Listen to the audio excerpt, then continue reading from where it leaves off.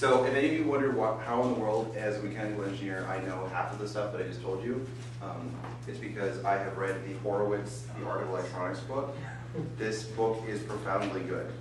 Um, this single textbook has been useful to me while all of my school textbooks have not. So if you, if you, want to own one textbook that's actually useful electrical engineering, it's this one, all right?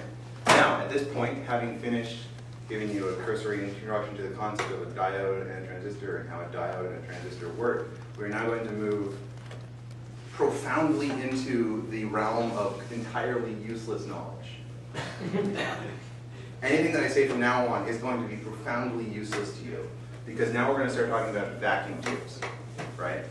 These went out of style in surprisingly late, um, because actually several countries still have factories that make vacuum tubes, um, but all of this information instead came out of the uh, electronic and radio engineering book by Terman. So if, some, if your professor ever mentions the Terman book, you've now actually seen it. Um, this, the Terman book, is the Horowitz book from before when semiconductors existed. So that's where this, this is all coming from. So let's talk about the vacuum tube.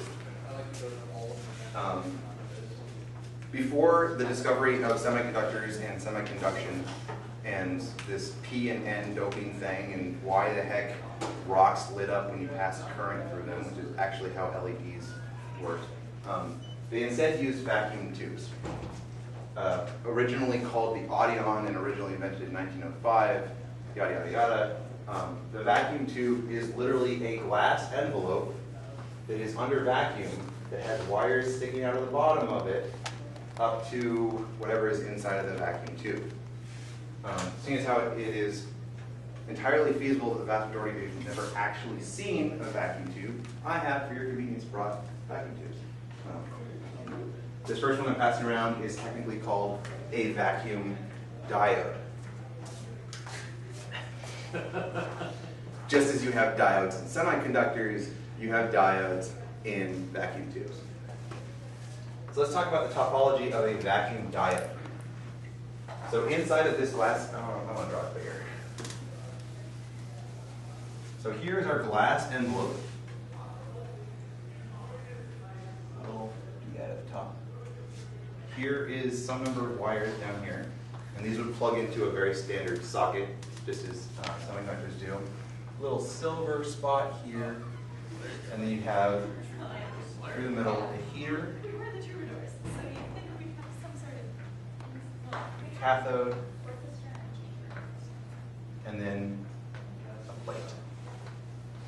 So these are all concentric, and so when you look at this vacuum tube, you're only seeing the exterior plate, and then you can see a little bit of the cathode and heater in between it, which is the white part. Okay? So how do vacuum tubes operate? Vacuum tubes operate on literally firing electrons off into a vacuum and having them travel through this space from as it travels from the cathode to the plate, right? Let's see. Uh, didn't bring the wire. Um, from these pieces of wire right here, I'm, we're about to observe electrons are being ejected. Nice. Doesn't actually happen at room temperature. Um, this is why vacuum tubes needed heaters. Is it is very analogous to evaporative heating evapor like uh, uh, evap like when evaporative cooling. Yes. Um, the heater is needed because to get a metal to eject electrons, it needs to be hot. We're talking really hot. Um, so here we have Kelvin um, on the order of about 2500 Kelvin um, is the approximate effective temperature for emissions of electrons for tungsten, right? Which is makes sense because you know light bulbs, right? So literally, this is a light bulb that instead of being designed to give light, instead is designed to eject electrons. Um, and this is why all of the old books about vacuum tubes always talk about the glow of a vacuum tube because they literally were glowing because they had light on them. Problem is 2500 degrees Kelvin is really hot.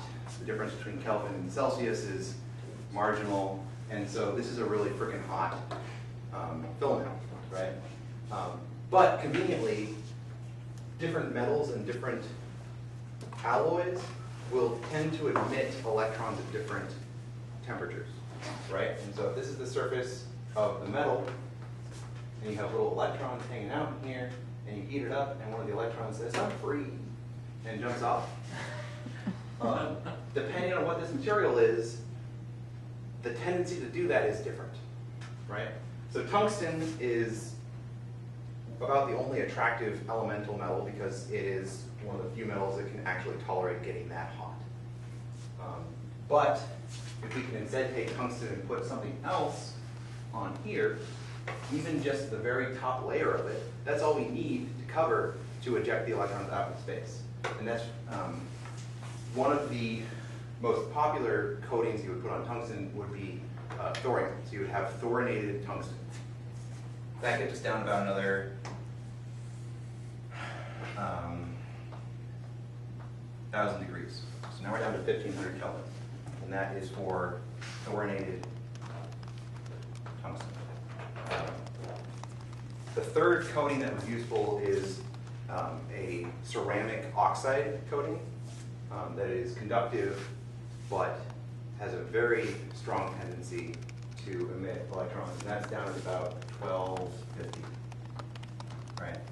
So, I mean, the main thing here is that you heat up the filament and it then starts to eject electrons. Um, The diode is a fairly simple case of this because you have the cathode and the plate. Um, So this is the heater. This is the interior cylinder. It gets hot and it ejects electrons, which then get captured on the larger plate. And they then strike the larger plate and then move on with life. If you apply voltage in the other direction, all the electrons come up to this plate, but this plate isn't hot. This is the other plate. It's unheated, and so the electrons don't jump back in the other direction. And so that's how you get rectification. Um, this gap here, instead of it being about 0.7 volts with a silicon diode, is on the order of 15 to hundreds of volts. So this is why vacuum tubes went out of style. Ironically, they're not going back in style because hipsters. Um, So if you looked at that vacuum diode, um, it, you could see the, yeah, so you could uh, see, yeah, so the, the shiny metal bar in the middle is the cathode, and then just the two little metal tubes in the middle are the plate. And then all of these fins on it that make it look like a little spaceship are actually for radiant cooling, right? Because you have all of these electrons flying across this gap and striking this plate. Um, this plate gets hot. The problem is it's in a vacuum, and so you can't depend on your standard cool air circulation to cool it. And so that's why you have all of these big flappy fins to just sit there and be surface area to cool with. Yes? So if it does get too hot, can you run voltage in the other direction or current in the other direction? Um, it would have to be excessively hot because the plate isn't surface treated. And so it's not going to tend to emit any reasonable temperature, but very high temperature. Um, also, it's not made out of tungsten, and so the plate will melt before it will get anywhere near its emission temperature. Uh, it's a very uh, standard failure condition for a vacuum tube is that when you overload it, you will melt the plate, and then you know your vacuum tube will be gone. Right? Just as we have demonstrated that you can modulate the current traveling through a diode, you can also modulate the current traveling through free space. Which brings us to the vacuum triode.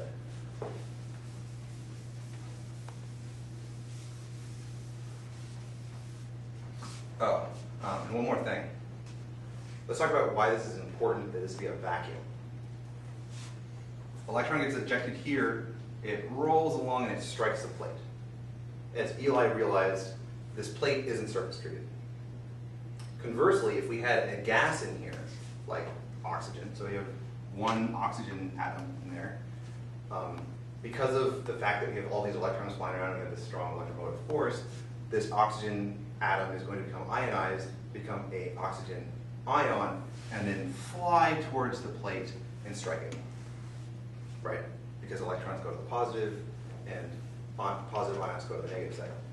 Problem is when it flies towards it and strikes this cathode, which has been very carefully surface treated with an oxide or, or thorium, um, it'll chip off a piece of oxide of thorium. And so as this oxygen ion flies through and hits it, it'll destroy the uh, cathode in a matter of seconds. Um, which is why the vacuum is important because we can't depend. Um, electrons have very small amounts of energy. Ions do a tremendous amount of damage to the cathode. So that's why if you develop a leak in a vacuum tube, it stops working very quickly. Um, it is also why the vacuum tube has that silvery spot on the top of it. Is this silvery spot on the top of it is actually uh, barium, um, or what's called a getter. Um, getters would be typically, usually barium, but you um, also see magnesium, but pretty much just any very reactive metal. Concept being that any oxygen that has soaked into any of these parts before we pulled the vacuum on it, we can pull a really good vacuum and seal the glass in the envelope to the point where, you know, four decades later, this is still a vacuum in here. But any oxygen that's soaked into the material can then soak out again, right? Just as you can dissolve carbon dioxide in water for in your sodas, you can dissolve gases in solids, which then under a vacuum will dissolve out again. By putting this spot of barium or magnesium in there, any gas that does happen to dissolve back out, then just reacts with barium and is gone. So, fun fact, easy way to tell if vacuum tube is bad, that barium spot turns white. Alright, so let's talk about the triode, because. So, we have the cathode, which is heated. We have the plate over here. Um, and we have electrons flying from one side to the other, and we want some way of modulating it with a small signal. Um, we do this with what's called a grid, which is literally just a screen of wire, um, which modulates it. Yes, Eli? What is our definition of a small signal for a vacuum tube? The same definition is from a transistor. Okay, Something come out of a microphone, something come out of an antenna. okay. Um, I mean, vacuum tubes, from a performance standpoint, are very close to uh, non-exotic semiconductors, right? Obviously, at some point, semiconductors became profoundly cheaper than vacuum tubes, um, but it was for a very long time after semiconductors existed that the actual trade-offs between the two of them fell in, sem- in silicon's favor um, which is why sem- uh, vacuum tubes hung around for several decades after semiconductors were discovered and still exist today. Um, because um, uh, in high power applications, particularly vacuum tubes are advantageous because a really, really big plate of metal is easier to cool than a tiny little piece of semiconductor, right? So we now have a grid between the cathode and the plate as an electron is flying through the air towards the plate, which is at a positive voltage, it's going to have to pass through this grid. Let's see if I can find for you. Keep that and try this.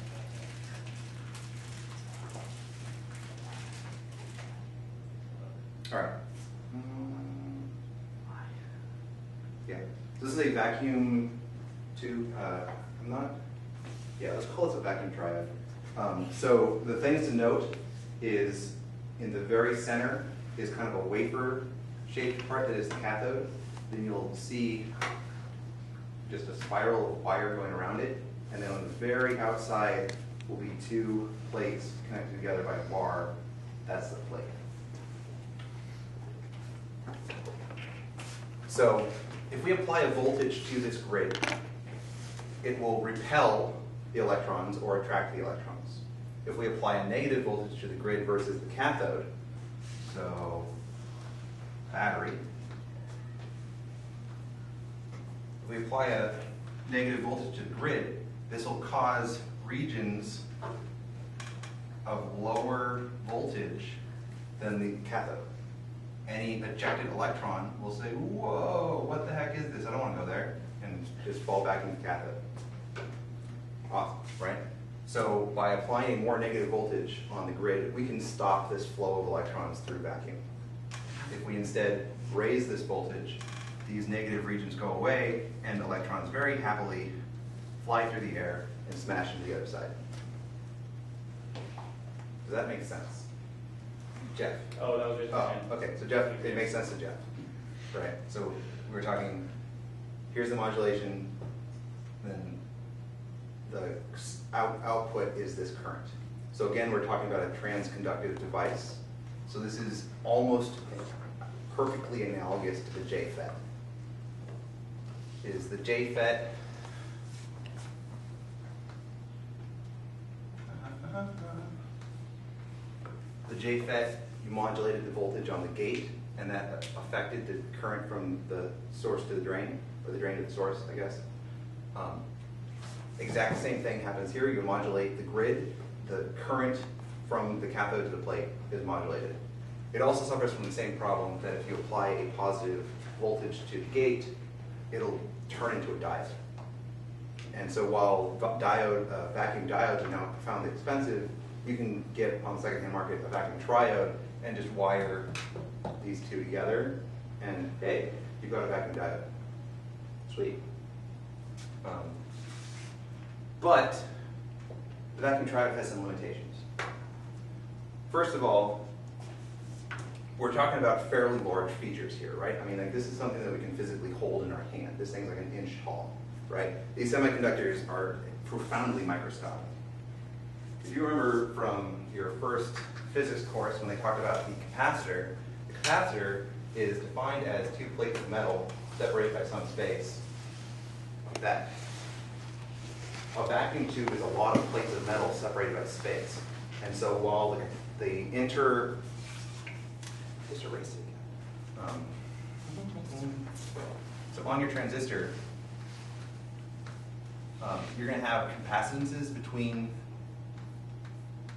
these junctions just by the fact that it physically isn't, is a, you know, physical thing. Um, On a transistor, these are like four picofarads. On a vacuum tube, the inter-terminal capacitances are more on the order of 10 to 100 picofarads. Um, Which becomes a problem, because when you have these capacitances between junctions, and you try and deal with higher frequencies, um, it stops working, because it all just looks like a wire at high frequencies, which is weird, um, but true.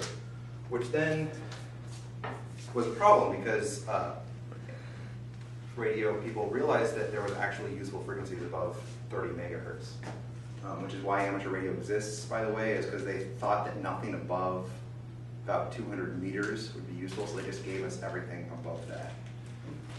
Um, turns out that you know um, VHF and UHF and microwave frequencies are actually useful, um, and so they kind of backpedal on that later. But there was still this capacitance issue.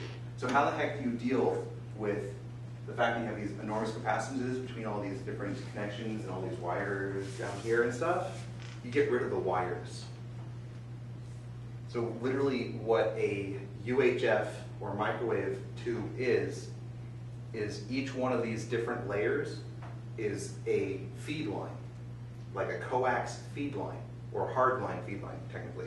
It's a feed line that comes up to the top of the package and is terminated, right? Um, one of the most common versions of this is called a lighthouse vacuum tube. So what this has is the cathode, grid, and plate as three concentric metal rings that would then have feed lines coming into them from the top. So that is exactly the same as your standard vacuum tube, except that it is, instead of being rated to 10 or 50 megahertz, um, that one is rated to 500 megacycles or megahertz um, and 6 watts. So that's a profoundly powerful vacuum tube right there. So this capacitance is an issue. Right? We also have a bunch of other issues. We're gonna clean this up. Because um, we're limited in how much power a triode can handle. We have to get the cathode profoundly hot to pass a large amount of current through it, because as electrons are ejected, they're gonna bunch up here, and they're gonna slow down electrons behind them, right? Just as when you're trying to go through a BART terminal or security at the airport, a whole bunch of people are pushing into a limited amount of space, and it slows down everyone behind them. Once you go through the control grid, on the other hand, this part, it would be ideal if we could speed up these electrons, right? Because once we get through this control section here with the grid, we don't care what the electrons do as long as they eventually get over to the other side. And so we use what's called a screen, which is a second control grid, to speed up the electrons once they pass through this modulation. Does that make sense? Yes, all right. This is called a tetrode. Instead of being a triode, it is a tetrode. So we have grid as our modulated frequency. So schematically, the diode, the vacuum tube looks like this. So here's our cathode.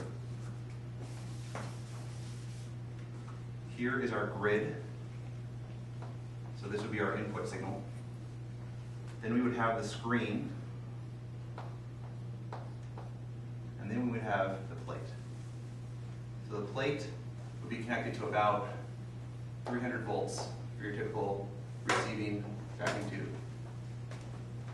Your screen would be attached to about half of your plate voltage, so that's about 150 volts. And then your grid would be modulated and be at a negative a few volts, and then your cathode would be your reference, right? By putting this at about half of the plate voltage, once the electron gets past the control grid, it's attracted to this grid, this screen. The screen, on the other hand, is very, very small compared to the control grid. And at this point, the electron's already moving at a couple dozen volts, right? Once it has been ejected and is moving, and it has accelerated across this space, by the time it reaches the screen, it's moving at 20, 30 volts. And I say volts in that the electron accelerates as it falls in potential, right? Gauge physics. So at this point, it's moving so fast that almost no electrons fall onto this screen, but all go to the plate. Um, to show you an example of a tetrode, I couldn't find any nice transparent ones, but instead managed to quite recently get my hands on a power tetrode. So this has the two screens in it, but in addition to um, in addition to just the fact that it is a tetrode, it has profoundly better cooling than a glass envelope, because a glass envelope is very thermally insulative, where this is not. So while that vacuum tube is rated for six, your standard glass envelope is rated for about one. This is rated for 150 watts. So in your final power section of your transmitter or receiver or audio hi-fi section, while you would not be able to get away with using a glass one, you would use either a metal or ceramic vacuum tube like this. Um, These powered vacuum tubes would get onto the scale of ridiculousness where you would have individual vacuum tubes about the size of a five gallon bucket. When you go to Bill Bailey's house, they've got some about that size. Awesome. Sweet. Yeah, you're gonna. So that's gonna be awesome. So we have this grid here, and we have the screen here. But that's not it, right? So we've now modulated the signal, and we've now accelerated the electrons so that they are no longer limiting our upper limit on power, right? So in a triode, you would have some upper limit on power. You add a screen, you can double, you can, you know, improve that power anywhere from an octave to a decade more, right? Problem is, we've now so effectively accelerated these electrons that they're going to strike the plate with such force, 150 volts of un, un, just un, uh, unforgiving force, that from here will actually eject secondary electrons. right? Just as when you shoot, when, just when you do a break in pool and you shoot the cue ball into the rest of the cluster of pool balls, when you strike a piece, any piece of metal with an electron, it will shoot off other electrons. Hopefully, because of uh, the positive voltage on it, these electrons are attracted back towards the plate, right? But by all of these um, ejections happening, we're slowing stuff down, and that sucks. That's why we want the screen here to be at a relatively higher voltage than the grid, right? Because this is at like negative two volts, this is at 150 volts, and so we help suppress this readmission. To improve that, we also add another grid. Yeah, right. Um, which is called the suppressor grid. See, suppressing the secondary emissions. Right. Yeah. So here is a suppressor grid. And weirdly enough, this is almost always attached back to the original cathode. Zero volts. So we have zero volts right here. 300 volts, we eject an electron. Zero volts here. Zero volts here is not going to encourage electrons to fall back into the plate, which is the ideal situation, but will instead very strongly draw electrons towards it. Electrons will then get drawn towards the- suppressor grid and go to ground, and they're not gone. Right? So the suppressor grid is kind of like an overflow valve, preventing these electrons from getting back into the business of the real sensitive parts in the middle that we're really concerned about. So modulation happens on the grid. The screen then gets any modulated electrons out of the way, and the suppressor screen then protects all the previous screens from this final messy impact that happens at the end. Yes. Um, so those are your five um, junctions of the batching tube. In specific applications, this secondary ejection can actually be useful in uh, such things as multiplier tubes, because you would have a long string of plates like this, and then by shooting an electron here, you can shoot a couple electrons here, which then shoot more electrons there, more electrons there, um, and you get amplification via a totally bizarre and weird concept. But so none of this stuff is necessarily bad, but um, in this case, it's not preferable. There was one thing on my checklist. Um, right. Uh, so this isolates these electrons from the plate back into the prior part. It's also useful from a capacitance point of view because the capacitance of problem in your amplifier is between the input and the output. This capacitance is what is a problem. This limits the upper frequencies, this limits how much gain you can have. This is the one that's a problem. That, in our case here, that would be the plate, and that would be the grid. In your triode, those two are right next to each other, and so you have fairly large capacitances between them. In your tetrode, you have one set of mesh between them at a moderate voltage, which then means that the tetrode then looks like instead. Um, so here's our screen, one capacitor to the grid, and one capacitor to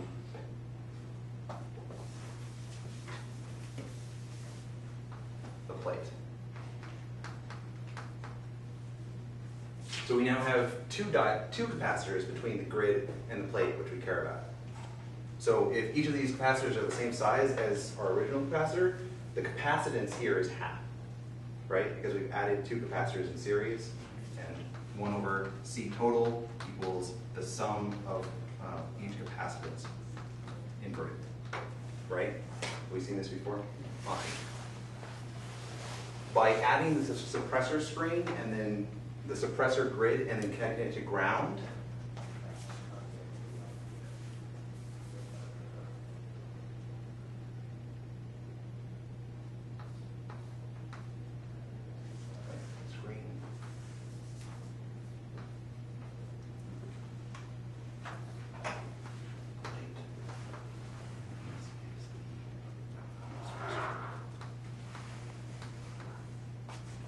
if this is connected to ground right here, what is the capacitance between here and here?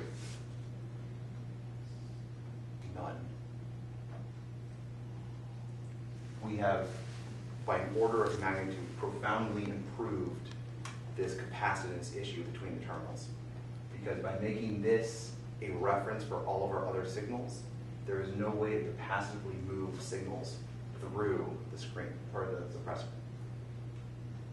This is what enabled vacuum tubes to go up above 30 to 50 megacycles, megahertz, without having to resort to the profoundly expensive feed line uh, systems such as the lighthouse style vacuum tubes.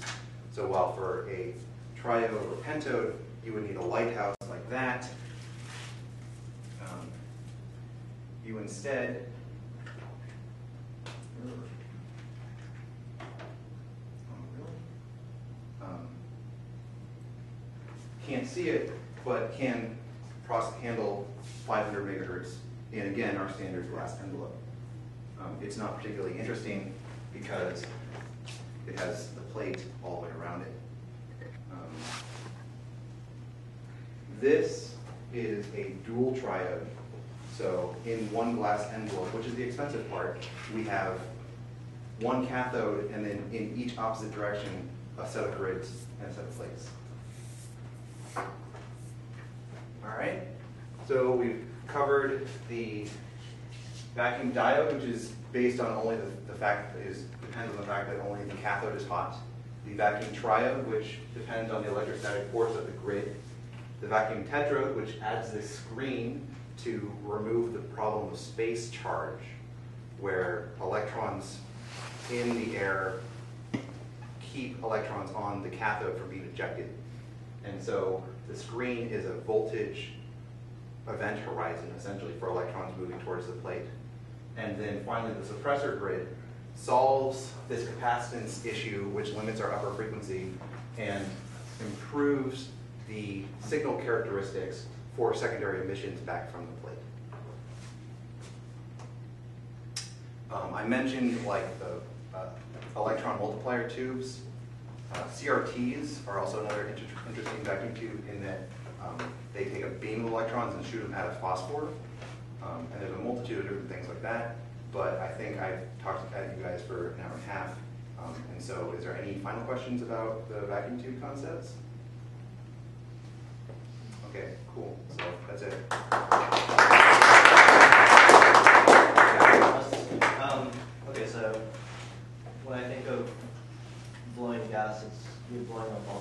How do you of vacuum tube? Uh, the vacuum tube would be, uh, first you would take the base of it, Uh-huh. um, so it's just the section with all the pins, and you would, originally by hand, you would take this preformed biscuit with all the wires through it, and you would weld on all of the actual vacuum tube, right? You would then take glass tubing and uh, several large propane uh, torches, and you would take a- just an arbitrary long piece of tube and seal it onto this biscuit, right? So there's actually a glass joint here. Um, Glass blowers are profoundly good at making airtight junctions, and so that, that's fine. Um, You then would, in a vacuum oven, so it's an oven that is vacuum, under vacuum, you would then heat up the top section and pinch it off. And so, and at that point, you would, you would do it, I believe, upside down. And as you're pinching it off, you would uh, add in the trace amount of barium, which you would then use to coat the interior there. So very labor intensive, very skilled labor, and that's why vacuum tubes are, were and still are profoundly expensive. Um, Power vacuum tubes like that in the sixties and seventies would typically run you $15 in 1970s money. Um, so the fact that uh, JFETs dropped down to less than $10 a piece was very exciting. Um, I can now buy JFETs and bipolar transistors for less than a cent a piece. So that's why vacuum tubes are now entirely irrelevant. Any other questions? Cool. Hope you enjoyed that. Okay.